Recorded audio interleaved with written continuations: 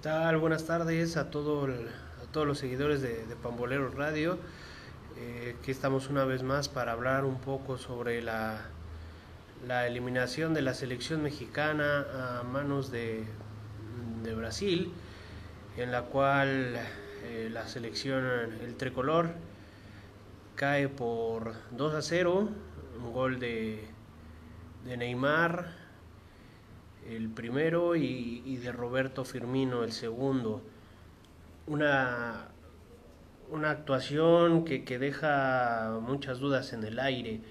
Eh, la selección mexicana se, comportó bien gran parte del, primer tiempo. En el segundo tiempo me parece que los cambios propuestos por Juan Carlos Osorio tal vez no, son, no fueron los mejores, pero bueno, ya estaremos hablando de esto eh, de manera más a fondo con el señor Juan Romero, eh, solamente esperando que se, se pueda conectar y, y obviamente eh, hablar sobre esta, esta este nuevo fracaso de la selección mexicana, que así se le puede llamar. Para algunos sí, porque esperaba que llegaran más allá del cuarto, del quinto, al quinto partido y otros pues eh, se quedan con la sensación de que se hizo lo mismo que siempre. Señor Juan Romero, ¿cómo le va? Buenas noches. Aquí hablando ya de, lo que fue la participación de la selección mexicana en Rusia 2018.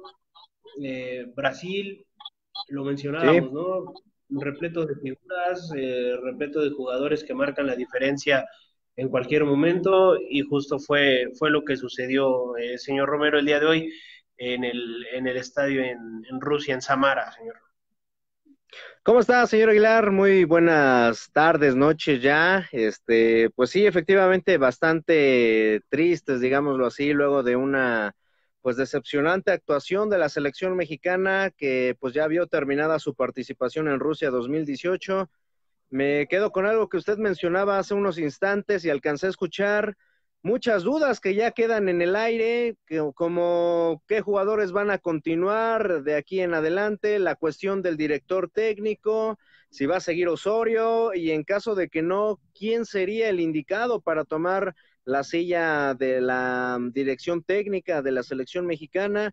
La verdad es que pues hoy, hoy no sé, creo que todavía tenemos a lo mejor este muy fresco la, el recuerdo de este partido en donde pues lamentablemente termina de forma un tanto abrupta, creo, el sueño de la selección, que creo de alguna manera se pensaba que podía competir un poquito más a Brasil y solamente le alcanzó como para los primeros 20, 25 minutos y después Brasil se adueñó del control del partido y nunca soltó ahora sí que eh, este el timón del, del barco, digámoslo así, para posteriormente pues finiquitarlo ya en el segundo tiempo. Sí, una, selección mexicana que en los primeros minutos nos recordó mucho ese partido frente a Alemania.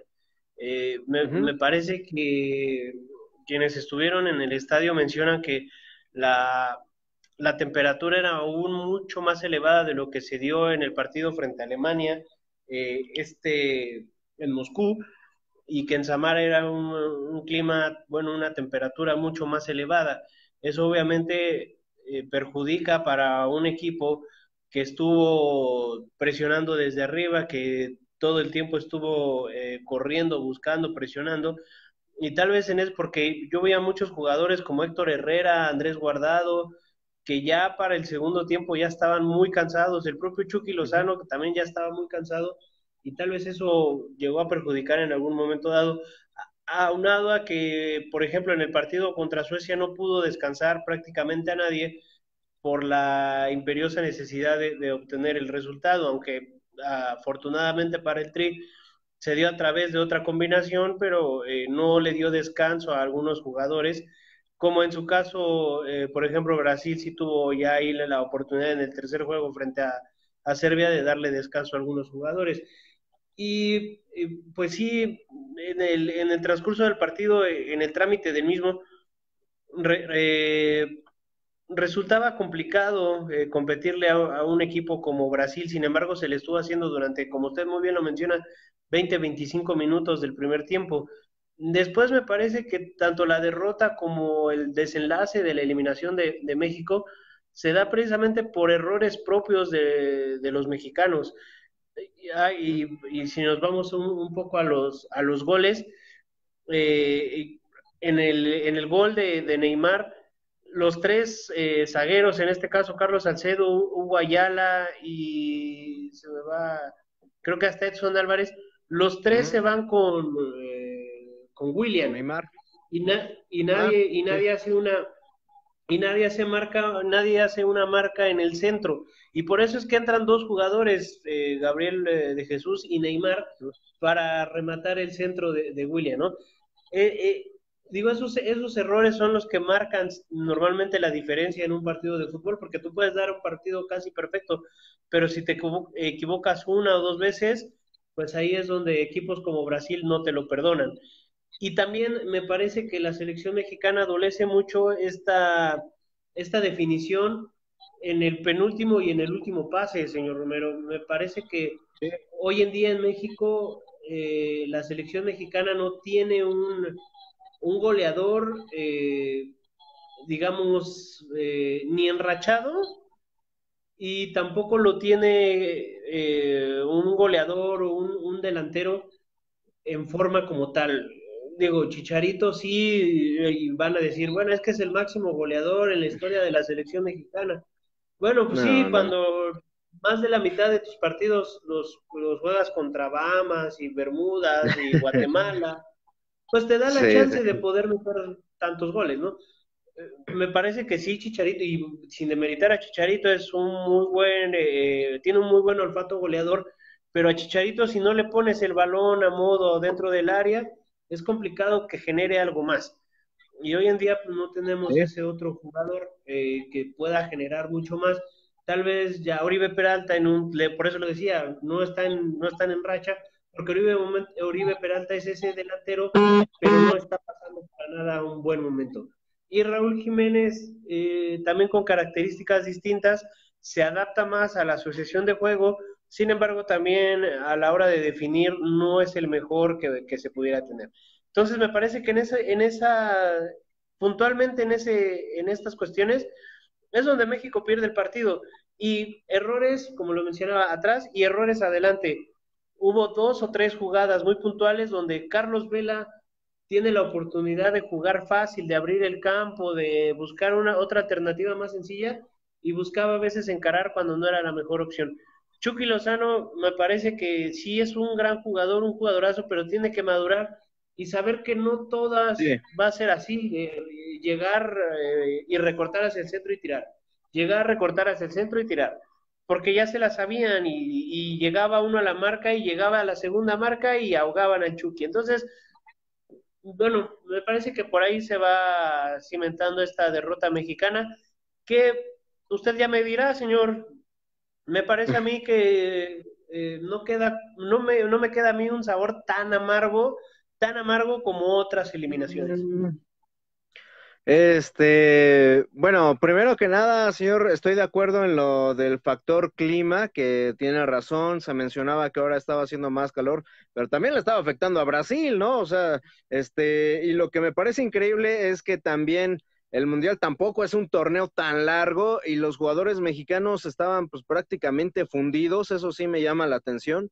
Eh, que, bueno, vuelvo y repito, estoy de acuerdo que el clima es un factor que quizás no le afecte tanto a los brasileños, pero también, este, es cierto, no le afecta tanto, pero también les toca a ellos recibir esta carga de calor, que hubo jugadores también del conjunto brasileño que repitieron, así como algunos tuvieron descanso, Neymar, por ejemplo, repitió, eh, ya no digamos Coutinho y otros elementos que también estuvieron en los partidos previos. Y en cambio México sí se desfondó muy rápido, lo cual me llamó poderosamente la atención. Concuerdo con usted en el hecho de que se ve muy chato el equipo nacional al frente.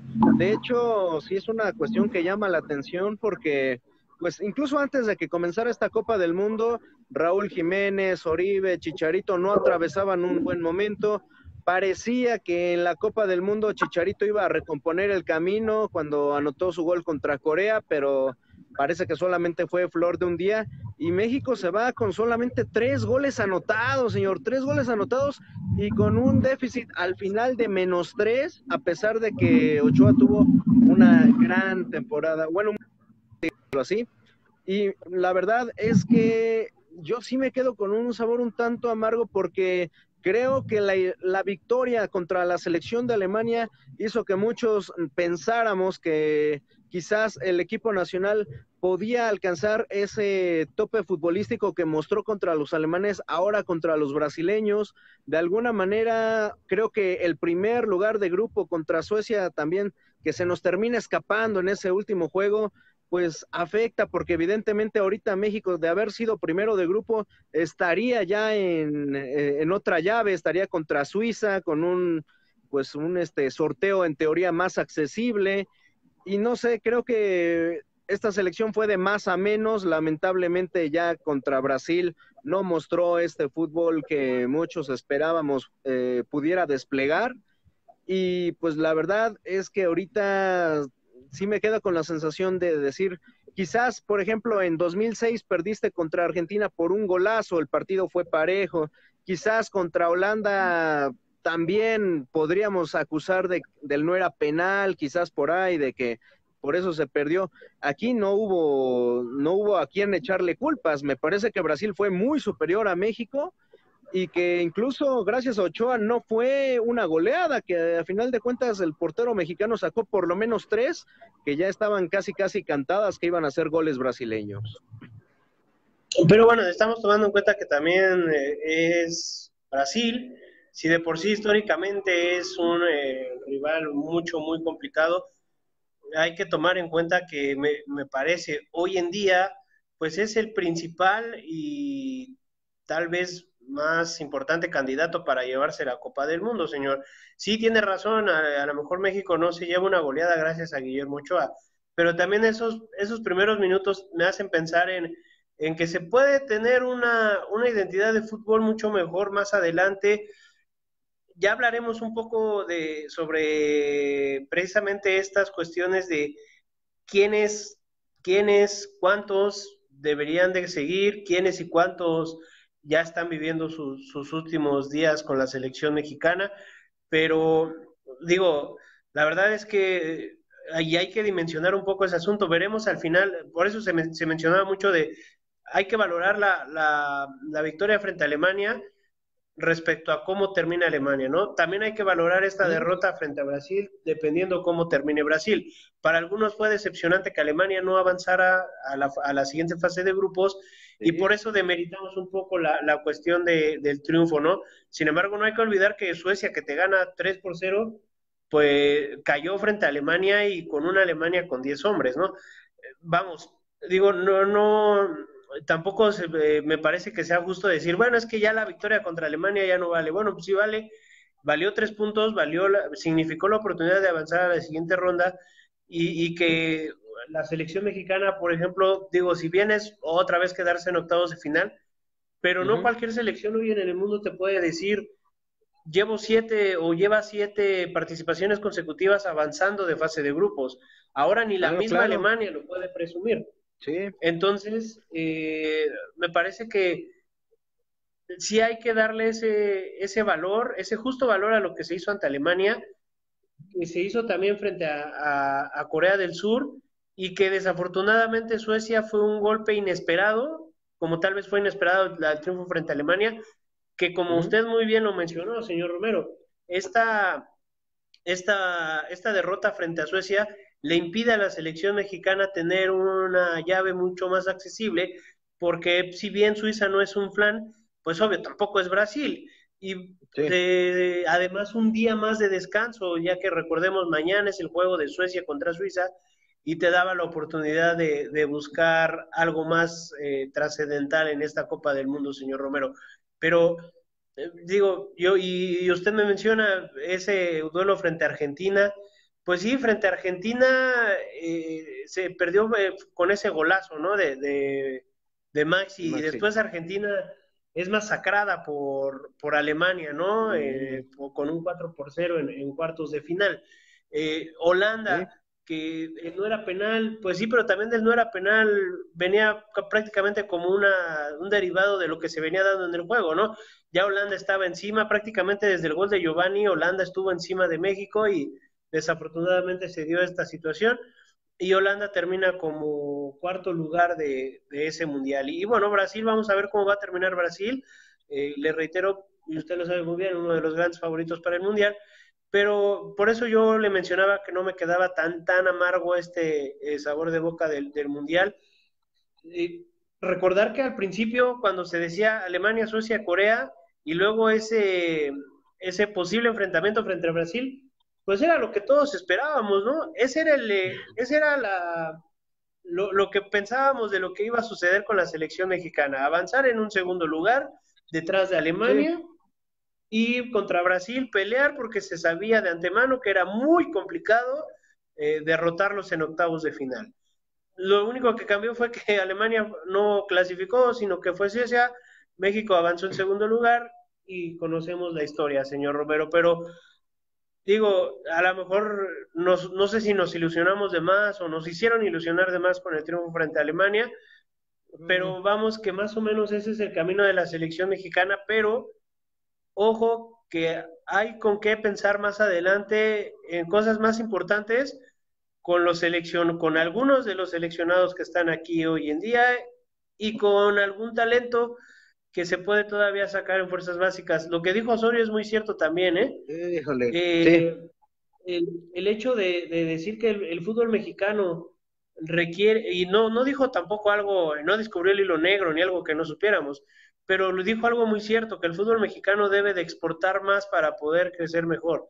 Hoy hasta eh, Wagner, el jugador lateral que entró en sustitución de Marcelo, eh, la verdad es que te puede decir que no era lo mejor de Brasil, sin embargo, esa competición que tiene día con día eh, en Europa, o Felipe Luis, que tampoco es el gran lateral, pero sin embargo, estar en el Atlético de Madrid y competir día a día con los mejores, pues te hace un mucho mejor jugador y que precisamente puedas tú dar una mejor versión con eh, tu combinado nacional. Eh, y, y sobre todo si tomamos en cuenta temas como Gallardo, y Pizarro, por poner dos, dos muy claros ejemplos, que los venden a, Monterrey por 16, 17 millones de dólares, el jugador se lleva una muy buena parte, pero eh, eh, pierde obviamente la, la oportunidad del futbolista de a lo mejor emigrar al fútbol europeo porque el club dice, no, prefiero recibir 15 millones de dólares de Monterrey a recibir dos del Getafe. Y ahí es donde se empieza a perder también un poco el, eh, el sentido de poder exportar al jugador mexicano, algo que la verdad hoy en día, en el fútbol tan globalizado que existe hoy en día, no se puede dar uno ese lujo. Suecia, todos sus jugadores, todos sus jugadores militan en el extranjero, o sea, no militan en la liga local. Ahí está precisamente, y no vamos a decir que Suecia tampoco son unos grandes dechados de, virtudes, pero tienen a sus jugadores al 100% de su combinado compitiendo semana a semana en las mejores ligas del mundo o fuera de su zona de confort. Sí, totalmente de acuerdo, señor. Creo que evidentemente mientras más jugadores mexicanos haya en competiciones europeas es mejor. El problema también no es que se vayan, sino que jueguen, señor. Digo, de nada nos sirve, por ejemplo, tener a 20, 30 jugadores afuera si casi todos están en la banca, como fue el caso, por ejemplo, de Raúl Jiménez, que creo de haber tenido más minutos, habría tenido también una mejor participación. Chicharito los últimos partidos se las pasó en la banca, eh, y así nos podemos seguir con varios, ¿no? Ahora también hay que decirlo, ¿no? Varios jugadores mexicanos no son, obviamente ven el dinero y dicen, pues yo mejor me quedo aquí porque me va a convenir en lo económico y no me voy a Europa.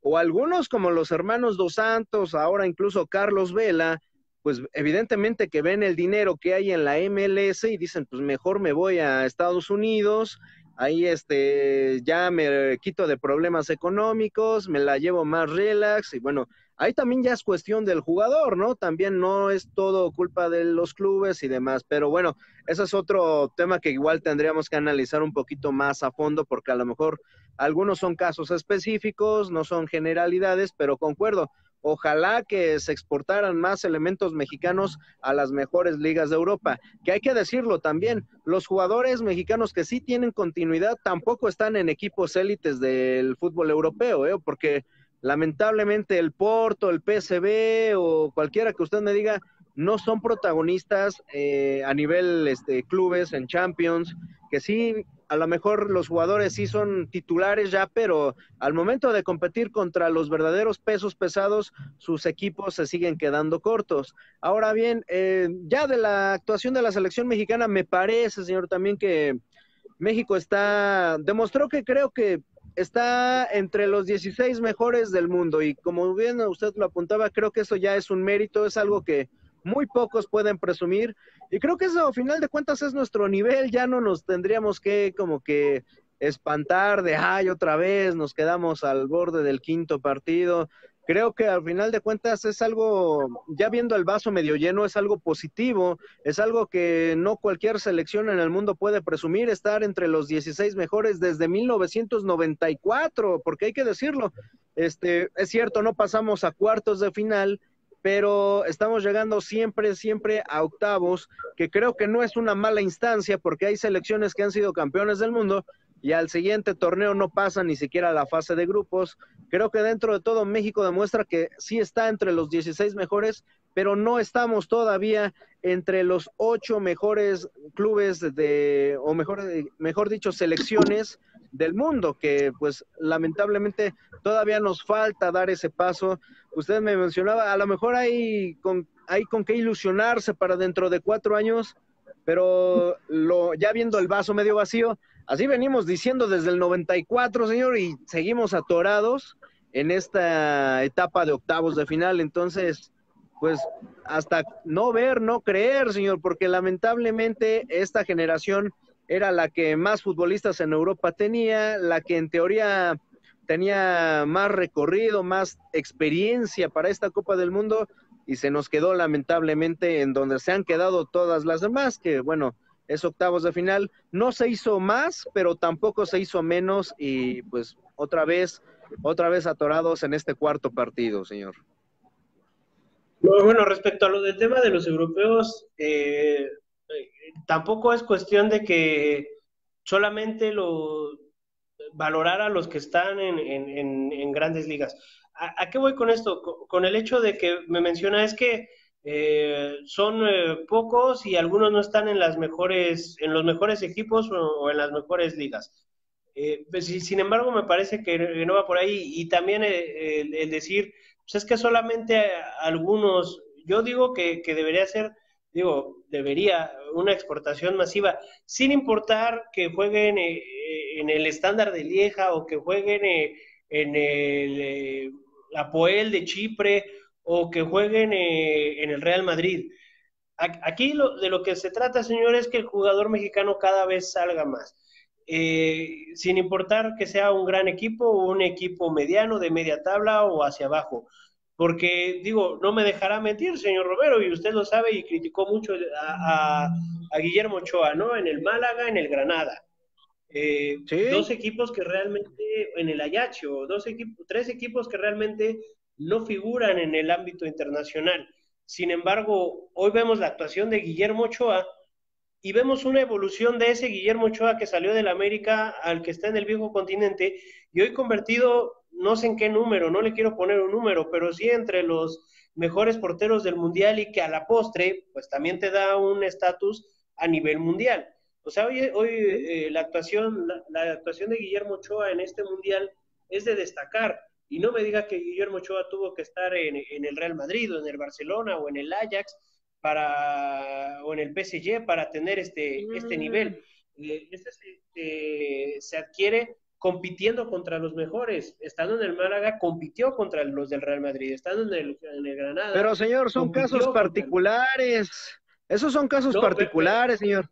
Pero, por ejemplo, usted me habla, por ejemplo, de un Gobea que también está en Europa y ahorita nadie lo ha volteado a ver, que nada más lo llevó Osorio uno o dos partidos y totalmente ya después desaparecido. Por allá está Edson Rivera, me no, este, el pollo briseño, perdón, está en Portugal y no pasa nada con él, o sea, eh, hay eh, jugadores mexicanos en Sudamérica igual y nadie los voltea a ver, señor, o sea, también creo que de, son casos específicos. Yo a Ochoa hoy le reconozco que fue el mejor jugador, no solo, bueno, de hoy, sino incluso de la Copa del Mundo, me atrevo a decir, de los jugadores mexicanos, pero es un jugador que renunció a la comodidad de estar en el América, donde era capitán, donde me parece fácilmente él se pudo haber quedado ahí. Y no dio el brinco, se fue a Europa, ahorita está en un equipo, a mi parecer, de medio pelo, como es el estándar Lieja, pero quizás esta actuación en la Copa del Mundo ya le haga dar el brinco a un equipo importante. Pero, por ejemplo, el caso de los hermanos Dos Santos, que estando en España, que estando en equipos eh, regulares a buenos, se vienen a la MLS, entonces... Eh, aquí creo que va más por, eh, son casos particulares y depende como que habría que revisar casi, casi cada caso de cada jugador para ver qué es lo que está pasando, ¿no? Porque Ochoa, sí, yo aquí se, se, lo reconozco, se animó, se salió de la comodidad y, por ejemplo, ahora vemos en Monterrey, usted bien lo apuntaba, un Pizarro que en lugar de irse, como usted bien lo comenta, al Málaga, al Getafe o al Rayo Vallecano, pues se prefirió ir a Monterrey donde le van a dar un billetote, o yo ya lo mencionaba, Carlos Vela, los hermanos Dos Santos, entonces bueno, estos prefirieron renunciar a Europa para venirse a, vivir una vida más light, más relax a Estados Unidos, en donde van a ganar mucho y no van a tener gran competencia. Tiene razón en el sentido de los casos eh, particulares, porque por ejemplo, usted lo menciona, en el caso de los dos santos, Giovanni, eh, me, parece que prefiere una cuestión ya de estatus y a lo mejor también en el caso de Vela, pero Giovanni dos Santos la verdad es que su nivel fue en decremento de unos años a la fecha. Sin embargo, Carlos Vela eh, dio, y lo podrá, si no, ustedes miéntame, dio muy buenos partidos, tal vez en el, en el de Suecia no tanto, por el hecho de que los suecos lo estudiaron y, le, casi casi le metieron marca personal. Pero Carlos Vela fue de los mejores en estos cuatro partidos de la selección mexicana. ¿Y cómo adquirió ese nivel Carlos Vela? Precisamente porque ahorita es fácil acordarse que Carlos Vela viene a jugar al, Los Ángeles Fútbol Club, pero Carlos Vela estuvo en el Salamanca, estuvo eh, en el Arsenal, estuvo eh, en el Real Sociedad. Deportivo, no me acuerdo qué otro, en la Real Sociedad, que fue donde más brilló Carlos Vela. Entonces, todo, todo ese bagaje eh, en estas ligas pues le permitieron a Carlos Vela madurar en el sentido futbolístico y darnos la presentación que en, esta, en este mundial vimos de Carlos Vela.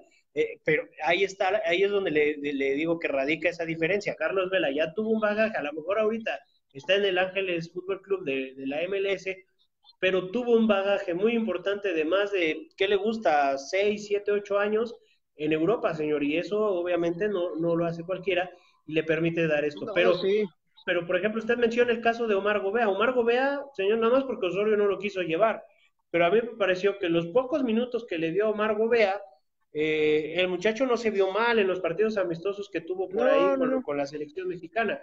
Y, y, además estamos hablando de, también de un chavo que tiene 20 años, señor. Entonces, eh, y que y el, el, hecho de jugar en el, eh, en el Muscron de, de Bélgica, pues le está dando ese, a lo mejor, por eso yo le decía, en cuatro años, o ya no cuatro años, en unos años más, en dos años, puede empezar a alzar la mano Margo Bea para ser eh, seleccionado y poder asistir a un mundial, señor.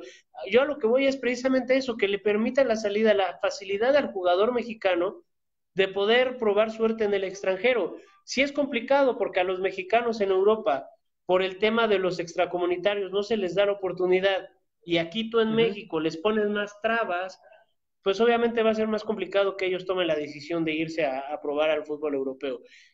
Y, y, no, no, no, había terminado de mencionar anteriormente que no solamente es cuestión de, de, que los elegidos o solamente 11 jugadores que son los de la selección mexicana vayan a Europa, que vayan todos los que se pueda y que se vayan todos los Briseño y los Gobea y todos a madurar. Habrá por ahí, como por ahí bien dice, ¿no? Hay maderas que nunca van a agarrar el barniz y, y, habrá jugadores que a lo mejor se vayan y regresen y pasó lo mismo con ellos, pero habrá otros que a lo mejor allá maduren, ahí encuentren su mejor fútbol y eso le puedan aportar a la selección mexicana. Es mejor aventar, eh, no sé, miles de pesos al, al, aire y que caigan cuatro o cinco en el círculo, pero cuatro o cinco muy buenos, a que solamente tengas para elegir dos o tres. Ese es a lo que yo voy. Los brasileños, ¿cuántos brasileños hay en el mundo? ¿Cuántos brasileños hay en Europa? Hay centenares y no todos son Neymar, y no todos son Thiago Silva, y no, todos son Felipe Coutinho. Igual los argentinos, ¿cuántos argentinos? Hay miles de argentinos regados por el mundo, pero no todos son Lionel Messi, no todos son Gonzalo Higuaín, Paulo Dybala. Ese es, ese es mi punto, señor Romero, de una exportación, si se puede, masiva, y que, pues bueno, ya eh, cada jugador, usted lo menciona muy bien, pues, habrá jugadores que en casos particulares les sirva, habrá a otros que no, pero a los que les sirva, esos tomarlos, pero no sabes si les va a servir o no si solamente se quedan en la Liga Mexicana, señor Romero. Me parece que por ahí va. Ahora, señor, eh, también este, voy a hacer una declaración incendiaria, por ahora sí con base en lo que ahorita está diciendo. Ya sabe que no me gusta. Eh, este, señor, usted me comenta, sí, que vayan los jugadores a Europa, donde sea, que jueguen en Chipre, en la India, en donde usted diga que, bueno, que se vayan a foguear, que tengan ese roce internacional, que a lo mejor les puede servir en un futuro. Esta selección, señor Aguilar, que estuvo ahora en Rusia 2018 es la que más jugadores ha tenido en el viejo continente y llegó exactamente a la misma instancia a la que llegó la del 94 y la del 98 donde prácticamente todos los jugadores militaban en la Liga MX y que hasta cierto punto pues este unos podían decir, "Ay, es que esta selección no trae nivel porque todos juegan en Chivas, en Cruz Azul, en el América, en Santos, en el Atlas, en el que usted me diga." Y a final de cuentas, bueno, llegaron, hasta ahorita no ha habido gran diferencia tampoco, ¿eh? O sea, son casos particulares, ya lo decíamos, Ochoa, quizás Vela, pero los demás, o sea, también es que, bueno, esta selección no ha llegado más lejos de lo que ya llegaron los del 94 y 98, que fueron hechos aquí, ¿eh? O sea, jugadores que ya lo, ya lo hemos dicho, incluso se menciona que esas elecciones eran mejores que la actual, en donde militaban, ya sabemos, ¿no? Los consagrados, los Benjamín Galindo, los Luis García, Jorge Campos, Claudio Suárez, y ahorita mucho jugador en Europa, pero seguimos igual atorados en octavos de final, ¿eh? Sí, no, eh, pero y nadie está diciendo que sean mejores o no. Yo a lo que estoy apelando es al hecho de decir, conforme más oportunidades tenga el, fútbol, el futbolista mexicano de exportar, más calidad se puede dar precisamente para aportar a la selección mexicana. Y obviamente esto va en beneficio de la selección mexicana. Y ahí le va un muy claro ejemplo. ¿Quién metió el gol, el segundo gol de Brasil, señor? Firmino, ¿no? Roberto Firmino. Así es. ¿Dónde está hoy en día Roberto Firmino, señor? En Liverpool. y dio un temporada en el Liverpool. Llegaron a la, junto con Sadio Mané y con Mohamed Salah, fue el tridente, eh, Firmino, Mohamed Salah y, este, eh, no, este, se me fue el nombre, Mohamed Salah, Firmino y Sadio Mané, fueron los tres que guiaron a Liverpool a, la Champions League. Sin embargo, Roberto Firmino fue suplente, es suplente en Brasil, señor. O sea, eso, eso es a lo que yo voy, señor Romero, eh, que, que más jugadores y que tengas una amplia baraja para que puedas tener, cuando hoy en día, por ejemplo, en México, por el caso contrario, eh, tu mejor jugador es Guillermo Ochoa, que milita en el estándar de Lieja, o tu mejor jugador es, eh, por ejemplo, Héctor Herrera, que dio un buen partido, es del Porto, y Chucky Lozano también es del PCB, pero volteas a la banca y buscas un recambio y a lo mejor por ahí está el más destacado era Raúl Jiménez del Benfica, bueno, que ahora pasa al Wolverhampton. Eh, sin embargo, me, parece que tiene, sí, muy buenos jugadores, usted lo mencionó, casi todos, pero prácticamente todos estaban en la cancha, señor. No tenía un plantel vasto y completo como para mencionar, ah, bueno, si ahorita se me atora esto, puedo meter a este.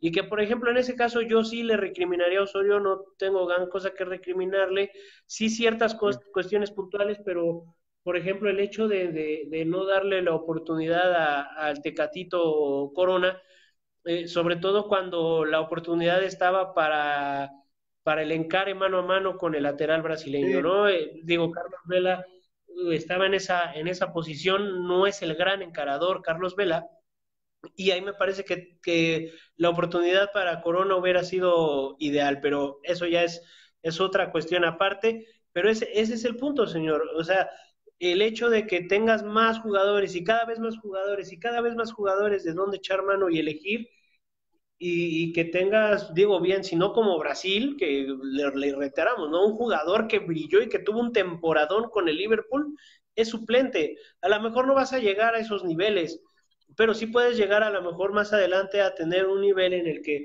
tengas un recambio que está teniendo una gran temporada, si usted quiere, en, eh, Bélgica o en Holanda, o como el Chucky, o, este, no sé, en cualquier lado. Ahora, eh, también usted me menciona eh, esta cuestión de, de, los jugadores, me mencionó a, Ochoa, pero también, por ejemplo, Carlos Salcedo, señor. Carlos Salcedo también dio un muy buen torneo y lo dio precisamente gracias a que está participando ahora con el Entra de Frankfurt. Cuando estaba con Chivas y en la MLS, pues la verdad es que no dábamos mucho por Carlos Salcedo. Carlos Salcedo evoluciona participando en la Bundesliga y a pesar de que no tuvo gran participación por lesiones, porque a lo mejor no era tomado muy en cuenta entonces por Nico Kovac, el entrenador del Eintracht Frankfurt, pero sí, obviamente hay una evolución en Carlos Salcedo. Y me voy a ir todavía mucho más atrás el Maza Rodríguez, señor. ¿Cuánto evolucionó el Maza Rodríguez jugando en Ah, bueno, iba muy bien, señor. iba muy bien y de repente ya, ya este, dio el bandazo, por Dios. pero no, pero realmente no va a decir, no, va a decir que el Maza Rodríguez fue el mismo en Holanda que el que salió de Chivas. No, bueno, pero sí mejoró, pero también, este, póngame otro ejemplo, señor, o sea, este, iba bien, iba bien, y de repente ya me dio el bandazo feo, ¿eh? Creo que, creo, creo, que ese es el caso más extremo, o sea, de, decir, y cuando se dio la contratación, todos dijimos, ¿por qué Maza Rodríguez a Holanda? Pues, ¿qué, qué, ¿por qué? ¿O de vacaciones o qué? Y realmente dio, dio una buena temporada. Eh, pero, señor Romero, ya hay que llegar a este punto que creo que es necesario. Eh, Rafa Márquez hoy ya se despide de la selección mexicana, de hecho del fútbol profesional. Dice adiós Rafa Márquez en un buen partido, de un buen partido, eh, eh, ahí en el medio campo, entre, la, entre los contenciones y la central, dándole equilibrio a esa zona del juego y que fue obviamente factor para que Brasil no, no, no tuviera tanto ataque en los primeros minutos frente a México. Sin embargo, me parece que si no, si no los últimos partidos, tal vez sí vimos el último mundial de algunos jugadores. Eh, caso específico, por ejemplo, Andrés Guardado, que ya eh, va a ser complicado que pueda llegar a una siguiente, a un siguiente ciclo mundialista. Digo, aunque no jugó Oribe Peralta, también ya él mismo lo mencionó, este iba a ser ya su último, su última competencia con selección mexicana. Eh, tampoco jugó, pero me parece que Jesús Corona estaría eh, también ya en su último proceso. Eh, Guillermo Ochoa, son cuatro años más, la posición de portero te da un chance más todavía de, llegar quizá a otro mundial, pero no sabemos también en, qué condiciones. Hoy en día tiene 32 años, si llega ya llegaría de 36, ya es un, a pesar de ser portero, pues ya sería un jugador más veterano. Y, así tal vez ya nos podemos ir con algunos que, podrían estar eh, viviendo sus últimos minutos, los hermanos, bueno, no, Jonah no tanto, pero Giovanni, me parece que ya, ya Giovanni Dos Santos eh, le está dando las gracias a la selección mexicana. a pesar de que es de la generación de, Carlos Vela y de Héctor Moreno y de Chicharito Hernández, que tal vez podrían pensarse en otro ciclo mundialista, pero ya pensando eh, qué tienes atrás, ¿no? Si lo de atrás está mejor, pues también ya Carlos Vela, Chicharito Hernández, Héctor Moreno, no sé si aguanten otro ciclo mundialista, señor Romero. Eh, sí, completamente de acuerdo. Quizás yo sumaría ahí a Miguel Ayun, otro elemento que ya también me parece, ya también va de salida. No sé, Héctor Herrera, si también le alcancen las piernas para otro ciclo. Quizás sí, quizás todavía este, pueda llegar, aunque no sabemos en qué nivel, porque evidentemente ya también, este, pues ya va, obviamente cuatro años a partir de este momento no sabemos cómo vaya a seguir este elemento que actualmente milita en el Porto, pero creo que sí, se tiene que empezar ya a dar este recambio generacional. Me parece que hoy, por ejemplo, no entendí la cuestión de los cambios cuando sacan a Márquez, que bueno, yo sabía que tenía que salir Rafa Márquez por la cuestión de la edad, pero entra Miguel Ayun, que pues prácticamente poco y nada se vio. Creo que lo más destacado del Ayun fue pues las escenas que montó con este Neymar, pero la verdad muy poco arriba. Raúl Jiménez se mostró muy muy poco, o sea, también este no no fueron este, hoy las modificaciones que yo hubiera esperado. como usted bien lo menciona, no hubo un recambio, gente que se quedó en la banca como Tecatito Corona, quizás yo le hubiera dado ya los últimos minutos a Uribe Peralta, o sea, eh, pero son varios elementos que, como usted bien lo apunta, ya se van a estar despidiendo.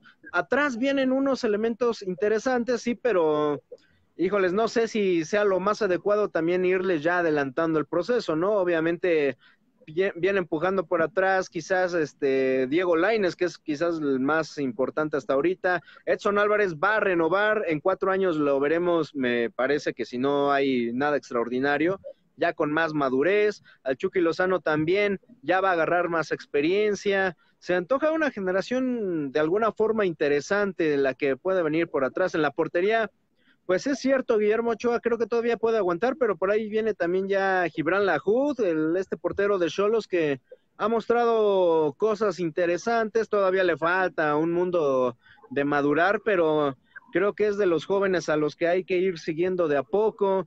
O sea, a mí me parece que Raúl Gudiño. no estaría mal ir ya. ¿Cuál, perdón? Este... Raúl Gudiño. Ah, claro.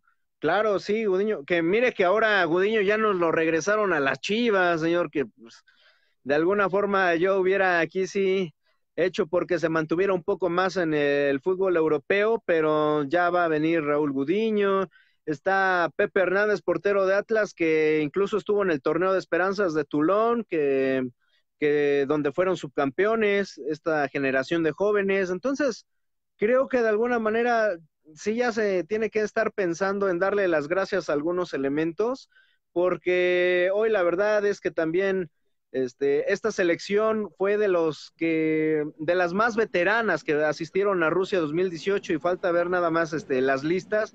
Cuando llegaron los 32 equipos, México era de los más veteranos y que de alguna manera uno pensaba que esto podría ser benéfico en el sentido de que ya tienes gente con recorrido, pero aquí también viene el punto en contra de que ya también ahorita, por ejemplo, en partidos como el de hoy, sí se veía de momentos una selección algo lenta y chata en el ataque. Entonces, yo consideraría ya empezar a darle igual el recambio a algunos jugadores, ¿no? Por ejemplo, Rodolfo Pizarro, otro de los elementos que no le alcanzó para llegar a, a ahora a Rusia, pero de mantener el nivel que había mostrado en los últimos meses, quizás podríamos pensar que está a lo mejor haciendo una sociedad con, con el Chucky, con Eric Gutiérrez, que no tuvo participación, pero también creo que son elementos de alguna forma que han llamado la atención y que podrían trascender dentro de cuatro años, ¿no?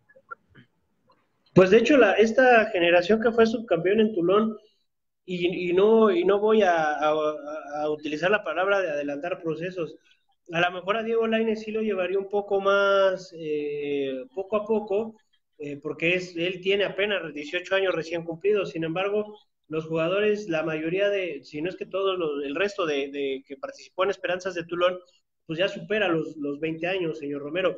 Y es entonces, por ejemplo, hoy Edson Álvarez eh, participó de 20 años. Y, y, Jesús Gallardo, también muy joven, usted lo menciona, y yo se lo dije en un principio, usted como que de repente me tiró como de a loco, yo le dije, bueno, pues más adelante, en cuatro años sí tenemos con qué una buena generación, porque también aparece por ahí Jonathan González, eh, ah, el, mediocampista de Monterrey, muy bueno. César Montes también de, Monterrey, que se hablaba hace un tiempo que podía llegar al Celta de Vigo, eh, de, Antonio Mohamed. Eh, el goleador, se me fue ahorita el nombre del goleador, Pedro Aguirre, que eh, uno no se explica cómo hoy en día está en el ascenso, está en el Tampico Madero. Y la verdad es que mostró muy buenas cosas en, el, torneo Esperanzas de Tulón, como para ya estar eh, buscando otra oportunidad. Uriel Antuna, o sea, la verdad es que estos jugadores que participaron en Tulón tienen con qué empezar ya a alzar la mano eh, a partir ya de ahora, señor. O sea, ¿para qué nos vamos a esperar a dos, tres años más? No, ya a partir de ahora, si, y ahorita va, a ser otro tema el que toquemos, el tema de Juan Carlos Osorio, porque él lo mencionó, que él veía una muy buena generación abajo de, mexicanos a, los cuales él le gustaría empezar a darles, a darles salida. Y, y, me parece que estos jugadores que participaron en Tulón ya están alzando precisamente esa mano para empezar a dar ese recambio generacional. Y usted mencionó también ya algunos otros. El propio Eric Gutiérrez, que fue nada más de comparsa, no tuvo la oportunidad de, disputar minutos en, la Copa del Mundo, pero que bueno, ya sabrá dentro de cuatro años lo que es vivir una experiencia mundialista. Entonces, eh, me parece que sí hay muchos jugadores, una muy buena generación en la cual se puede empezar ya a trabajar. Y me parece, usted lo menciona, ¿no? Eh, lo que México no ha podido hacer y me parece que hoy en día, y ya me voy a meter con el tema de Osorio, hoy en día, señor Romero, lo que le hace falta al fútbol mexicano para trascender, me parece que es la continuidad.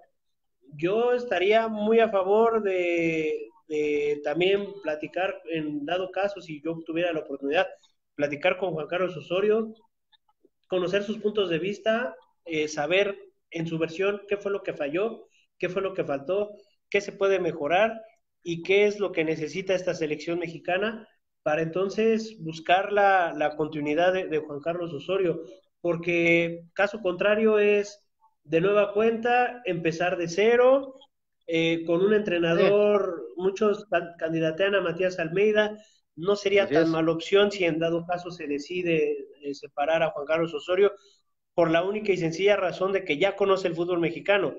Traer un extranjero, como se hablaba hace unas semanas de que habían ido a, visitar a no sé qué entrenador, es volver desde cero a que conozca todo el fútbol mexicano, a que conozca a los jugadores, a que se permee de toda la situación del fútbol mexicano y vamos y para Qatar 2022 va a ser lo mismo, sí muy buen entrenador o lo que sea, pero pues no tiene las bases que ya tiene hoy en día Osorio para poder pensar en eh, pasar del cuarto partido.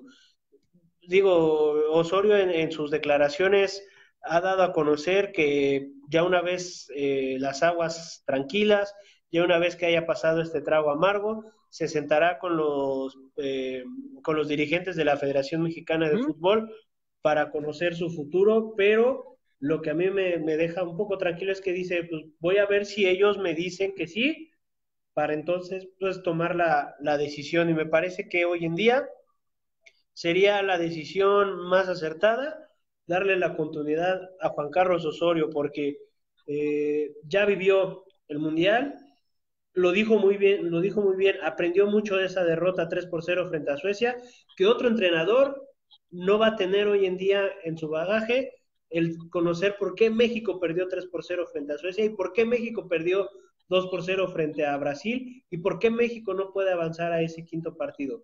No sé su, punto de vista, señor Romero, pero me parece que hoy en día lo más sano sería continuidad. Y, si lo vemos en, el fútbol mexicano, que en gran parte la continuidad es la base del éxito, lo vemos con los últimos técnicos campeones, ¿no? Siboldi, que no llegó de improvisado, estuvo trabajando desde Fuerzas Básicas en Santos y agarró al equipo al final de la temporada pasada, bueno, antepasada y en este caso, y completó toda la carrera para ser campeón. Y el Tuca Ferretti, y así nos podemos ir a, entrenadores que con base en, en, la continuidad se consigue este éxito. No sé usted, señor.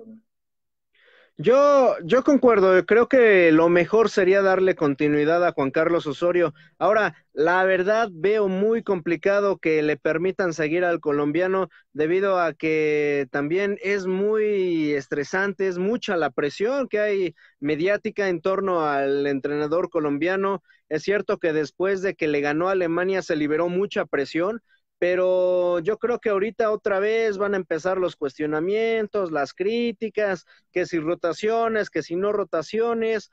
Es muy desgastante, la verdad, el estar en la silla de la selección nacional y no sé si a final de cuentas Osorio se va a animar a quedarse más tiempo por este tema en particular. Yo creo que sí, como usted bien lo menciona, en la cuestión deportiva sí le debe motivar sin duda alguna el querer trabajar con las nuevas generaciones, porque como bien lo comentamos, hay, hay talento, hay gente que me parece de alguna manera podría hacer pensar de que a lo mejor en el siguiente mundial teniendo continuidad se pudiera alcanzar algo diferente.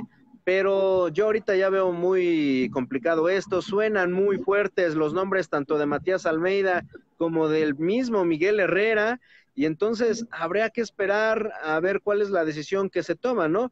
Obviamente, concuerdo con usted, creo que en caso de que se destituya Osorio, tendría que quedar en un entrenador que ya conozca el medio nacional, que ya conozca más o menos este la idiosincrasia del jugador mexicano, que ya pues, tenga, ya está empapado, ¿no? Evidentemente, y tanto Almeida como Herrera son los que ahorita cumplen con estas condiciones. A mí, bueno, yo hubiera puesto incluso como candidato a Antonio Mohamed, pero ya está en el fútbol español, ya ahorita ya es muy complicado que obviamente eh, lo llegaran a contactar para, o mejor dicho, a considerar. Pero bueno, ahorita son los nombres que han estado surgiendo, que son Almeida y Herrera. Y creo que dentro de todo, Osorio hizo, vuelvo a lo que había comentado hace unos minutos, señor. Creo que Osorio no le podemos decir ah, es que hizo menos que los otros porque a final de cuentas llegó a octavos de final, que es la misma instancia en la que ha llegado Mejía Barón, La Puente, La Volpe, Aguirre, el mismo Piojo Herrera. Es cierto, no hizo más, pero tampoco hizo menos y creo que esto a lo mejor le podría dar cierto crédito para mantenerse otro ciclo mundialista, aunque yo sí lo veo difícil, repito, por la cuestión mediática que ahorita ya pide como que un cambio, pide a otro entrenador para esa silla. Ahora, nada más el dato, señor, acuérdese también cuando trajeron a Osorio, él no era la primera opción para estar en el banquillo nacional. La primera era Matías, era Marcelo Bielsa, el loco que pues este ni siquiera prestó oídos a las a las ofertas de la Federación Mexicana y el segundo lugar me parece era Jorge Sampaoli, que ahora tuvo un fracaso totote en Argentina y que ahora, bueno, ya está, este, pues ahora sí que también veremos si, continúa o no en el fútbol de Argentina. Pero la tercera opción fue Juan Carlos Osorio, que dentro de todo él sí puede presumir que pues hizo un papel digno hasta cierto punto, porque también hay que decirlo, no, no, ya lo mencionábamos, no tiene, creo, la selección mexicana tantas armas a su disposición para pensar en que hoy, por ejemplo, pudiera eliminar a la selección brasileña, más allá de que se compitió en algunos lapsos del partido. Pues, pues creo que coincidimos en ese punto. Lo mejor hoy en día sería la, continuidad a buscar eh, fuera a una persona que le pueda dar otro, otro giro a la selección mexicana. Además de que hay una pregunta en una entrevista al final que le hacen Osorio una respuesta que me gustó mucho del técnico, más allá de, a lo mejor la, calentura del, resultado. En, este caso, señor, le preguntaron si, si, no se había arrepentido del hecho de, de, que contra Brasil hubiera jugado un poco más precavido y no jugarle de tú a tú porque además también ya tiene eco más o menos esa misma pregunta o ese mismo cuestionamiento. Eh, no sé si tuvo la oportunidad de ver por ahí las declaraciones de Ricardo Antonio Lavolpe, que también señaló que a Brasil no se le tiene por qué jugar al tú por tú. Y a lo que yo voy es a la respuesta del técnico Juan Carlos Osorio. Juan Carlos Osorio dijo, bueno, sí, se, se más o menos se, se pensó en esta situación de resguardar un poco y por eso se incrustó primero a Rafa Márquez para que tuviera esa, esa seguridad eh, en el último, bueno, en el primer tercio del campo. Sin embargo, y es ahí donde yo quiero señalar lo que me, gustó de su declaración, es que dice, yo no soy partidario de eso. Yo tengo, yo soy, eh, yo soy del gusto de, tener un, juego que en el que yo proponga.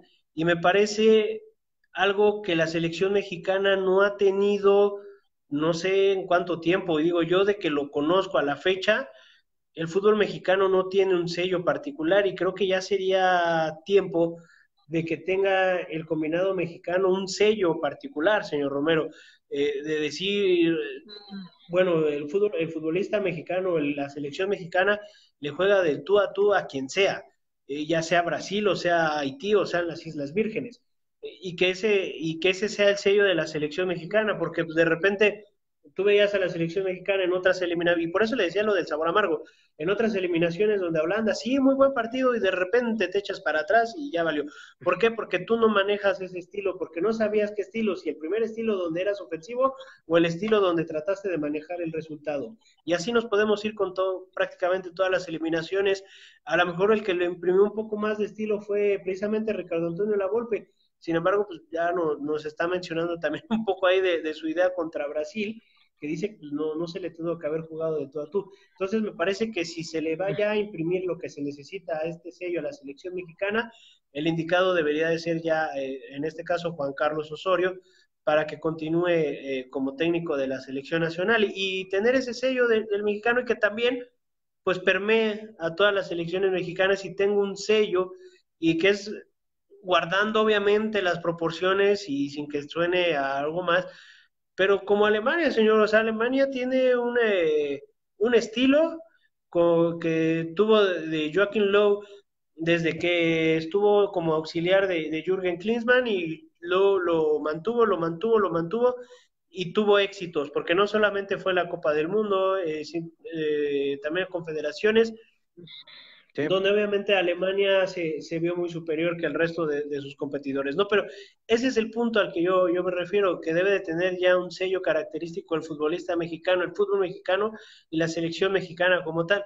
Antes de, de que usted me lo mencione, señor Romero, pues saludos para todos los que nos están eh, haciendo el favor de, de, ver esta transmisión, al buen eh, claro. Juanqui Cadena, que, que mencionaba que, como diría el Tuca, los dos santos son unos agrandados, más Giovanni tal vez que Jonathan, aunque hoy Jonathan no se le vio muy bien que digamos.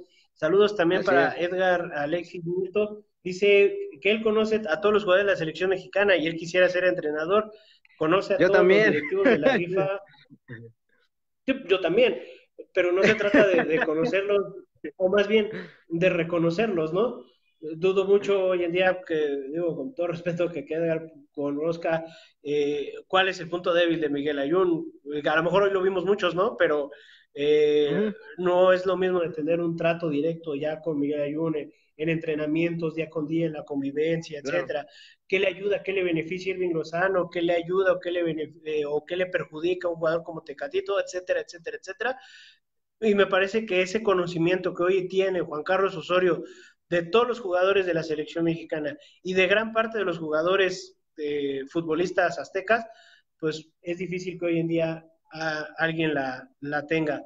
Entonces, yo, yo me quedo con eso, señor Romero, ya veremos.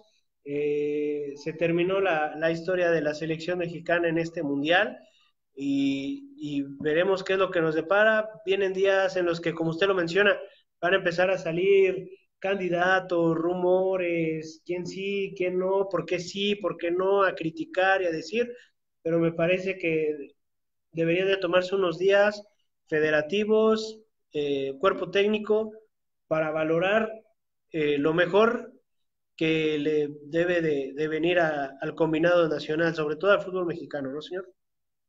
Sí, efectivamente, señor Aguilar, y, y, vaya, este, estoy de acuerdo con usted en el punto de la continuidad.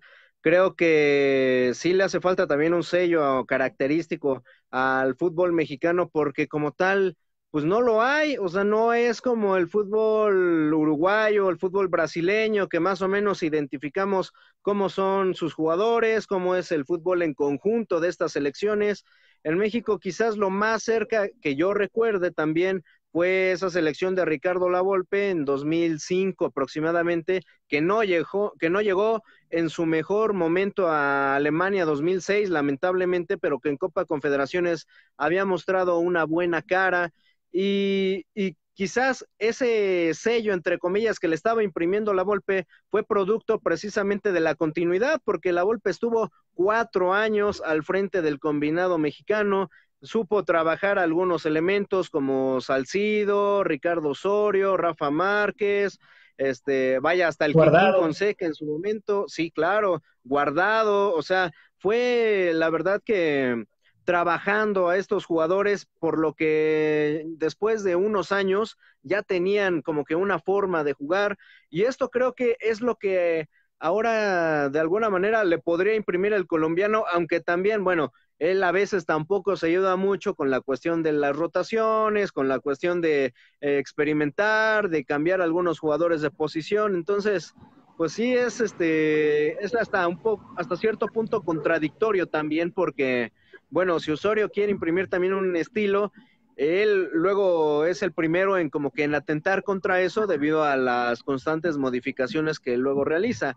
Y, nada más para mencionar la cuestión de del jugarle tú a tú a Brasil, pues la verdad es que es muy arriesgado, señor, porque también hay que decirlo, hay equipos a los que me parece tú mismo sabes que no tienes las herramientas necesarias como para competirles de tú a tú.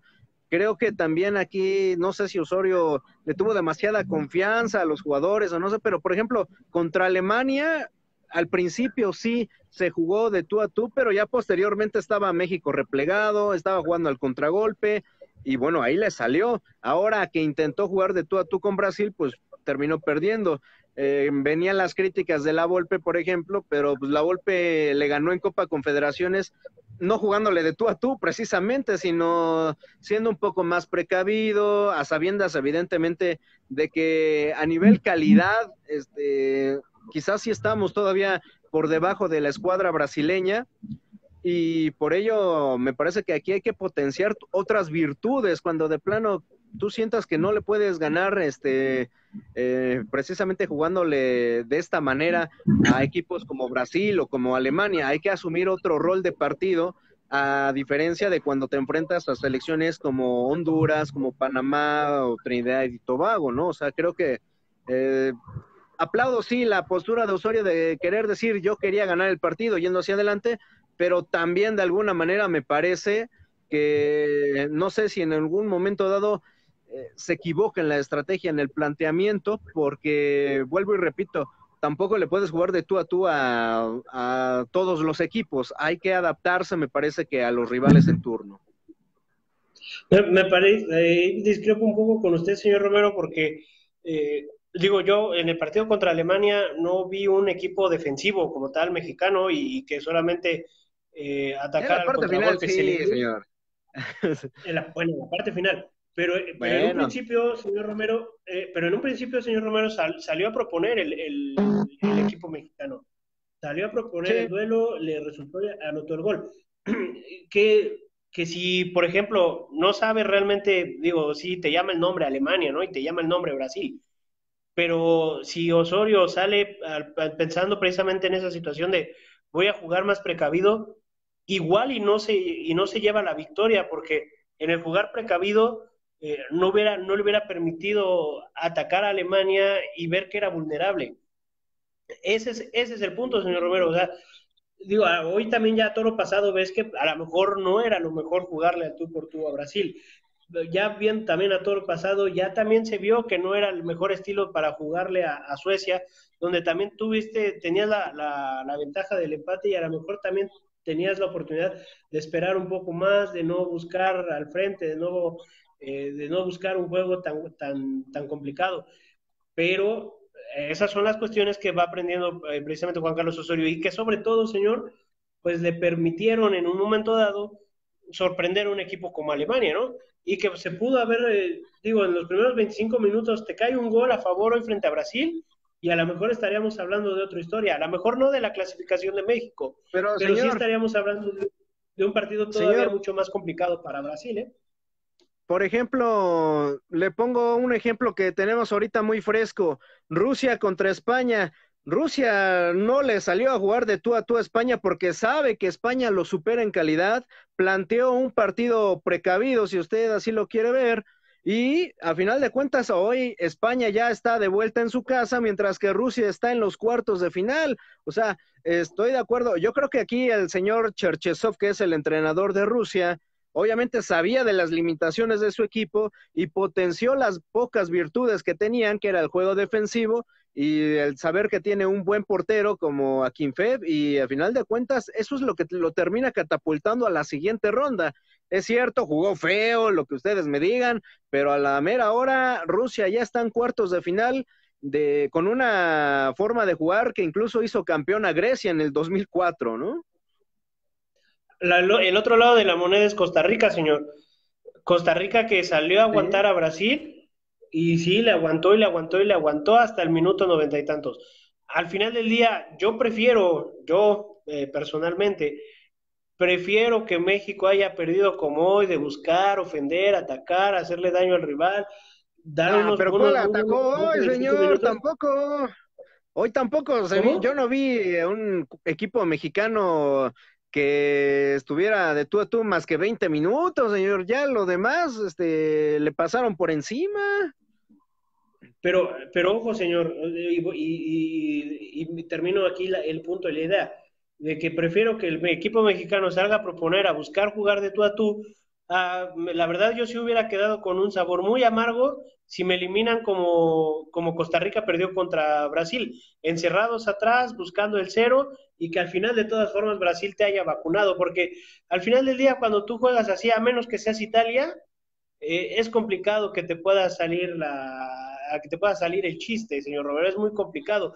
Y a Rusia también le salió, pero porque también la, este, este equipo español, pues la verdad es que esta, esa derrota o ese empate se tuvo que haber dado desde el de Marruecos, es más, se tuvo que haber dado desde, desde el de Irán, pero tuvieron mucha sí, claro que sí, tuvieron mucha suerte, señor Romero. Y hoy España no, no es ni, ni la sombra de la gran España, ni cerca está hoy de lo que hoy en día practica Brasil. Esa es la gran diferencia, señor Romero. Y le reitero, o sea, no, prefiero hoy que, que haya perdido así México y que, ojo, señor Romero, ¿eh? O sea, estamos hablando de, que Brasil, la gran potencia mundial en el fútbol, eh, si bien usted dice, no, es que solamente fueron 20, 25 minutos, en los últimos, ¿qué le gusta? 20 minutos, de entre 25 también 20 minutos del partido, México lo buscó y fue por un error de Hugo Ayala que al tratar de salir y dejar el balón ahí en el medio campo que llegó la contra y te vacunaron el segundo. Pero México ah, ya, estaba, ya estaba pero, señor, ya, estaba México Brasil, buscando. Brasil ya le había cedido la iniciativa a México para matarlo precisamente en un contragolpe, señor. O sea, tampoco es de que eh, México ya estuviera avasallando a Brasil, sino que el mismo conjunto amazónico ya sabía ya sabía que tenía la velocidad de sus atacantes a su favor y por eso casó a México. A final de cuentas le salió, buscó el error de Ayala, como bien lo comenta, y ahí estuvo el 2 por 0, pero este, ya es como que también hay táctica de Brasil, ya después replegarse un poco, esperar al rival para después matarlo en la contra, señor, por favor. O sea, no es de que México también al final haya acorralado. No, y yo nunca dije ni avasallado ni acorralado a Brasil, yo dije buscando eh, hacia adelante el, el, empate, porque tampoco era de que la selección mexicana se tuviera que tirar atrás ya con el 1-0, tan, se acabó. Simple y sencillamente es que sí, México buscó todavía el, empate, y usted lo menciona así también, eh, por, eh, por así decirlo, con consentimiento de Brasil para que matarlos en una contra. Sin embargo, también, ojo señor, ese Brasil de, tirarse, de hacer tiempo, de ah, como, argentinos, como uruguayos, pues la verdad es que pocas veces se puede ver a un equipo brasileño tan marrullero como este que se presentó. A, eso es a lo que voy. O sea, fue, fue también, también hay que decirlo, fue una faceta desconocida o no tan vista de los brasileños, a través del, del fútbol que, que, creó México, que sin ser avasallador, sin ser acorralante, sin ser eh, muy superior, pero sí provocó que Brasil no estuviera o no brindara la cara que normalmente vemos del conjunto brasileño, ¿eh, señor? O sea, ah, yo prefiero, yo prefiero, yo prefiero haberme quedado así que aguantar el cero y que al final, de todas formas, tratando de aguantar el cero, si no eres Italia, te va a vacunar Brasil. Ah, señor, este, me parece ya pecó de optimista en estos últimos minutos. Me parece que eh, concuerdo con usted en lo de fútbol marrullero de Brasil, ¿eh? O sea, la verdad es que por momentos parecía que no era Brasil, que estábamos viendo a Uruguay, que estábamos viendo, no sé, a Argentina, o no sé, o incluso alguna escuadra de Centroamérica. Lo de Neymar, a mí personalmente se me hace lamentable porque es uno de los mejores jugadores del mundo y que tenga que sacar este tipo de recursos es la verdad que pues este le resta mérito. A mi parecer obviamente habrá gente que diga que es sello del brasileño, que así ha sido toda su carrera y que aún así es uno de los mejores del mundo, eso es innegable, pero a mí no me gusta que, por ejemplo, hoy en una jugada con Miguel Ayun cerquita de la banda, este, parece que le dio un ataque epiléptico, parecía que, que el Ayun lo había fracturado, o sea, increíble cuánto tiempo se perdió en esa jugada, después Thiago Silva igual ya copiando las mañas de su compañero, o sea, la verdad es que es algo que a mí personalmente no me agrada, que yo no había visto en Brasil, que recordamos igual, ya no la Brasil del 70, porque obviamente no ni usted ni yo la vimos, pero por ejemplo a la Brasil del 94, a la Brasil del 2002, que fueron campeones, yo no recuerdo a Ronaldo a Ronaldinho, o Ronaldinho tal vez quizás en alguna ocasión, pero no a ese grado, este, de tirarse, de perder tanto tiempo y creo que dentro de todo esto sí este, es algo que a mí no me gusta, pero bueno, repito, este, ya es como que se está haciendo característico no solamente ya de Neymar, sino lamentablemente de varios incluso jugadores que son compañeros del 10 de la verde amarela. Pues sí, señor, hasta ahí hasta ahí en esa situación también concordamos. Desafortunadamente mostramos, vimos una cara de Brasil desconocida. Eh, saludos a, a, Juanqui. Mire, señor, ahí la propuesta de que quiere salir en, en el video, pues ya, ya, ya tiene la. Sí, pues usted dice cuándo, señor. Eh, saludos, Edgar Alexis. Dice que lo que él opina es que, digo, quiero decir que, supongo que quiso decir Juan Carlos Osorio, y que regresen a la Volpe o al Tuca Ferretti o al Piojo Herrera al banquillo de la selección mexicana. Eh, el Tuca ya dijo que no, Tuca dijo que él no quiere dirigir ya, que solamente con esa experiencia de darles el pase a la Confederación estuvo y no quiere dirigir a la selección mexicana. Ricardo Lavolpe, no sé qué ya tan adecuada sea su, su metodología hoy en día, me parece que se quedó un poco atrasado el buen Ricardo Antonio Lavolpe y y, sobre todo después de que dirigió al América. Y el Piojo Herrera, pues digo, hay que ver también que eh, el América del Piojo Herrera pues, en las últimas dos temporadas no fue de lo mejor, ¿no? No sé si otra segunda oportunidad, otra vuelta con Miguel Herrera sería tan adecuada. Reitero, yo estaría a favor de, que Juan Carlos Osorio continúe al mando. Pero bueno, señor, Ahora, ya nos quedamos con este Señor, de, del comentario de Edgar, este, me parece que aquí lo importante es de que menciona a puros estrategas del medio nacional, que era algo que ya habíamos también tocado, ¿no? Gente que ya conozca el fútbol mexicano, que ya más o menos sepa de qué se trata esto, para no estar como de, a ver, voy a llegar y en lo que me adapto y en lo que conozco a los jugadores, la Volpe, Tuca, Piojo es gente que ya ha estado incluso en el banquillo de la selección, que ya tienen cierto recorrido, que de alguna manera, si usted me dice alguno de esos tres, pues yo no vería con malos ojos que regresaran, pero bueno, evidentemente habría que este, tomarlo igual con un poco más de calma. Creo que de alguna manera concuerdo, la mejor opción sería ahorita que siguiera Osorio, pero personalmente lo veo complicado. Sí, ya dependerá de, por cierto, de John de Luisa, que tomará cargo de la Federación Mexicana de Fútbol a partir de, del siguiente día de que termine Rusia 2018. Ya le tocará a él platicar con, con Juan Carlos Osorio y esperemos que sea la mejor decisión para, la para el futuro de la selección mexicana. Señor Romero, se va la selección, todavía nos queda mundial, ya tendremos oportunidad de, de hablar de, las elecciones que aún continúan con vida, de las sorpresas que se han dado en, Rusia 2018. Eh, se nos fue Cristiano, se nos fue Messi, se nos fue España, eh, continúa Neymar con Brasil. Hoy estuvo cerca de dar otra sorpresa a Japón eh, al, ponerse 2 0 frente a Bélgica. y La verdad es que sí, al, al final Bélgica le da la vuelta de forma dramática y se instala en los cuartos de final y precisamente será Brasil eh, Brasil el, el, próximo rival de, los belgas. Y mañana juegan Inglaterra-Colombia, un duelo que me parece de lo más atractivo que nos van a deparar estos octavos de final, espero no defrauden. Y eh, el otro partido entre Suecia contra Suiza, con tal vez la idea de que ahí era donde pudo haber estado México participando, ¿no? En lugar de, de quedar eliminados esta, este día, esta mañana aquí en México, tarde ahí en Rusia, pero pues ya tendremos la, oportunidad de platicar de ello, eh, señor Romero, de, de, vislumbrar más o menos cómo se va dando estos cruces en Rusia 2018 y, y que veremos muy probablemente, no, ya es un hecho que veremos a una nación que no ha estado en una final de, Copa del Mundo desde hace más de 40, casi 50 años, señor Romero.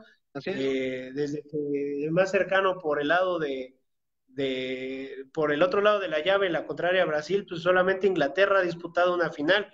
El resto, Rusia, Croacia, Suecia, los que siguen Suecia también, señor. Suecia ah, también Suecia en también el 58. Ahí estuvo. Sí, sí, Suecia, Suecia, Inglaterra. Esperando que mañana Suecia avance.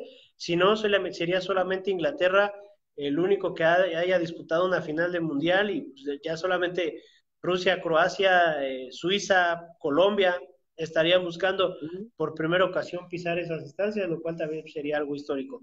Eh, pero bueno, le, reitero, ya veremos, ya tendremos la oportunidad de, de charlar en ello y pues obviamente eh, agradecer a todos los que nos, nos siguieron en esta transmisión. Espero haya sido de su grado. Les damos voz aquí a través a los que estuvieron eh, en esta transmisión. Siempre son, eh, siempre es bueno poder hacer estos intercambios de, punto de vista. De eso se trata esto, ¿no? Todos, todos nos gusta, a todos nos apasiona el fútbol, todos tenemos un punto de vista, cada cabeza es un mundo y lo mejor es que podamos charlar de ello. Para eso se hacen precisamente estas transmisiones en Pambolero, señor Romero. Sí, efectivamente, igual reitero el agradecimiento a todos los que estuvieron al pendientes, a los que nos comentaron, a Juanqui, a Edgar, a, evidentemente a todos.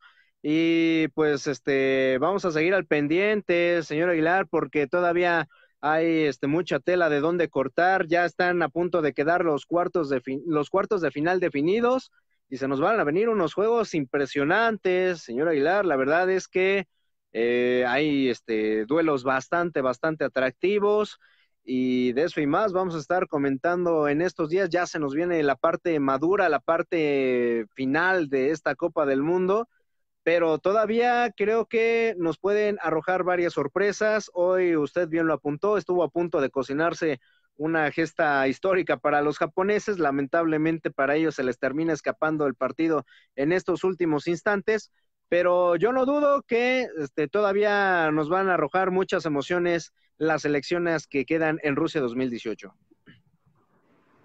Por supuesto, señor, y para eso tendremos otras transmisiones en esta tertulia pambolera eh, muy agradable sobre Rusia 2018. Eh, esperemos eh, muy pronto podamos hablar ya de, quiénes son los favoritos en los cuartos de final de esta edición de la Copa del Mundo, señor Romero. Mientras tanto, es hora de, despedirnos. Que la pase muy bien, señor, y pues ya, ah, ahora sí puede llorar a gusto la derrota de México, señor. Gracias, señor, gracias. Este, hace falta todavía. Que esté muy bien, señor. Un abrazo. Igualmente.